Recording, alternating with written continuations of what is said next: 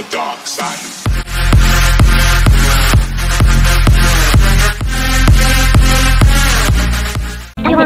は。記憶をたどることは得意ですか？皆さんが食べたキャン飯の記憶をたどってもらいます。久さんはマッチみたいです。美味しいですよね。しずくさんは唐揚げです。触るんですたまらないよね。母の味に感謝やな。コダは放置なので俺がコダの食ったもの言います。これ絶対うまいやつやんね。なんかお子様セットみたい消えろ。許してくださいなんでもします。皆さんも自分が昨日食べたものとか振り返ってみてね。ほいじゃあまったのー。ありがとうごさあ。ほんじゃ、またのー。ご視聴ありがとうございました。今後も様々な動画を配信していくのでぜひチャンネル登録お願いします。